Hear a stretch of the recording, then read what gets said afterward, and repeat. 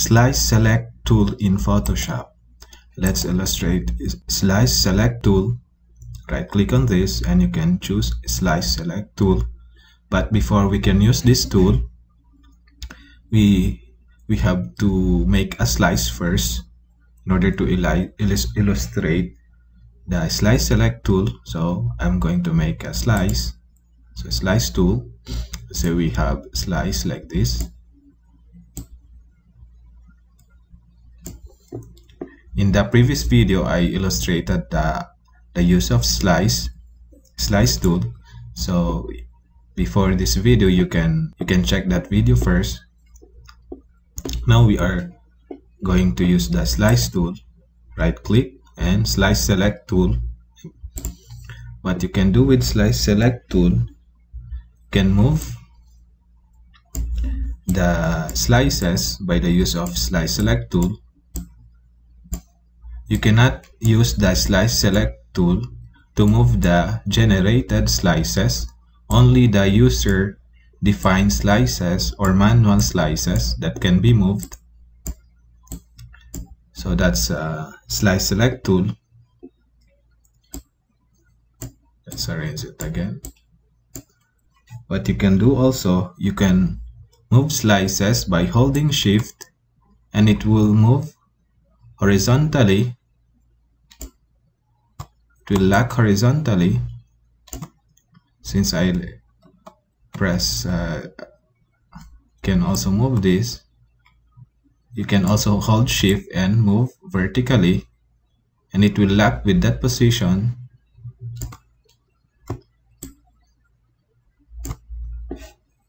What you can do also with the select slice with the slice select tool you can resize the slices.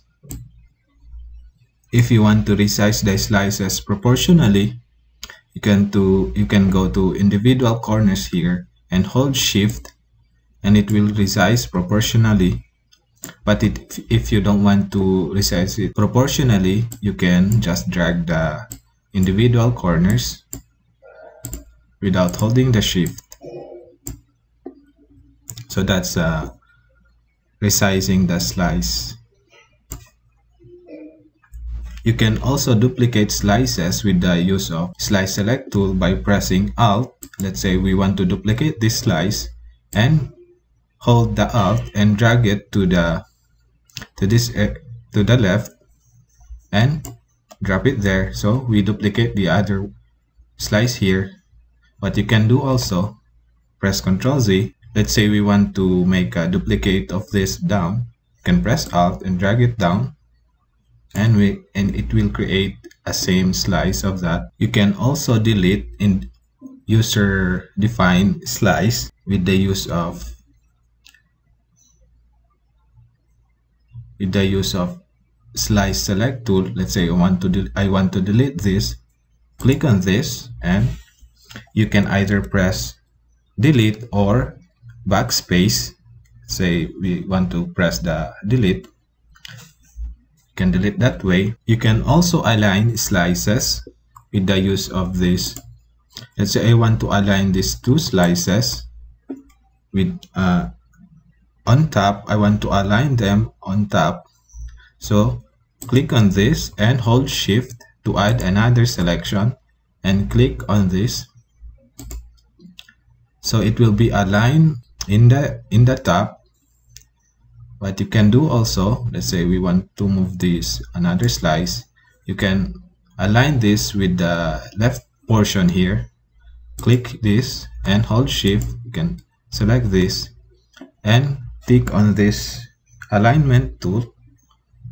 So it will align based on the left line or left position here. So that's uh, alignment in uh, select slice select tool. You can hide also slices hide auto slices. It will hide the auto generated slices but it will not hide the user defined slices or manual slices like this three.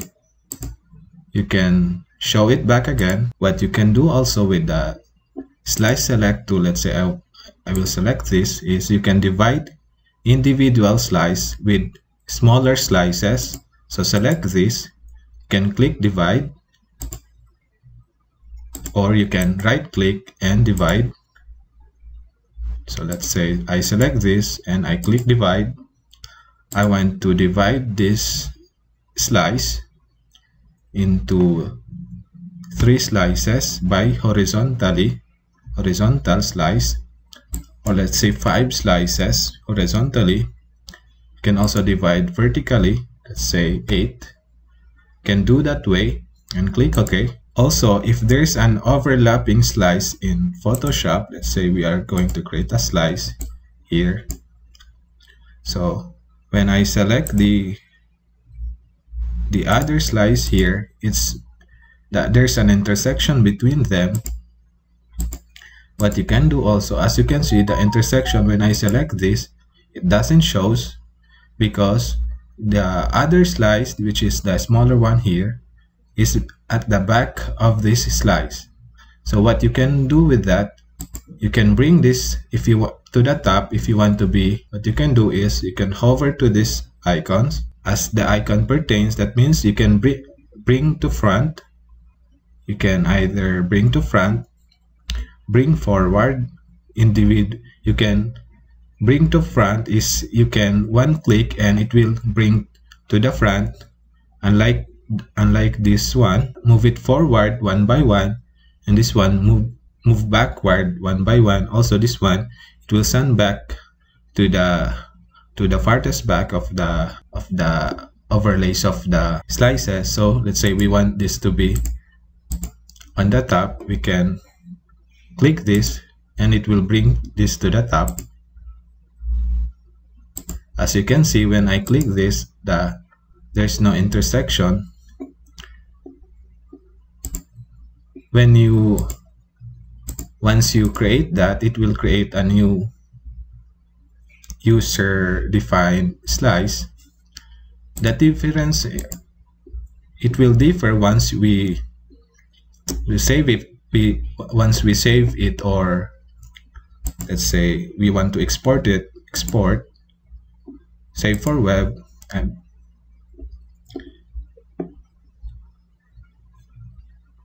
then let's fit in the view. Let's say I want to save this. I want to save this. What it will do it will not save this because this is the intersection slice between the two. It will only save one of this side and this side. So let's see. Jpeg save as. Let's image default settings selected slices and save. Let's check that out. Images. As you can see it create uh, it saved this corner slice and the other but it didn't save the intersection which is this one because it is covered by the other slice. So that's uh, another note for the select slice select tool. But if you want to save this entire slice this one and you want to co cover this what you can do you can bring this up to the top and do the same thing. Export. Yes. And we are going to save this. As you can see there's no intersection. But if you select this there's an intersection. By so we we bring this to the front. Now we can save this as a whole. Jpeg save as slice. Then click save I choose the selected slices, which is this one, and save. As you can see, here it is now.